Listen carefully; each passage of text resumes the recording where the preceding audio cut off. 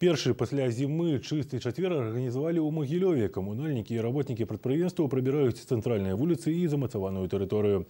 Гарадскія ўлады заклікаюць жыхароў мікрараёнаў далучацца да акцыі. Падрабязнасці ў матэрыяле Ганны Лапо.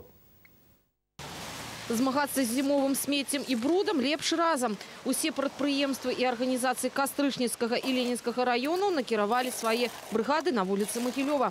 Цэнтральную частку праспекту Мира прыбіраюць работнікі дорожно-моставага прадпрыемства. Грязи хватает. Поэтому мы здесь и поставлены для того, чтобы навести порядок. Далей працуюць брыгады заводаў «Зеніт» і ліфтавага машынабудавання. У гарвыканкаме расказалі, што такія санітарныя чацвяргі будуць праводзіцца кожны тыдзень. Главная задача э, значит, в течение вот этой недели убрать, очистить землю вот от этих ненужных предметов, вот, э, и сделать наш город красивым, привлекательным, каким он должен быть. Усе жадаючыя могуць далучыцца да ўборкі ў мікрараёнах. Спецыяльны інвентар можна атрымаць у камунальнікаў па месцы жыхарства. Ганна Лапо, Александр Артеміў, навіны рэгіёна.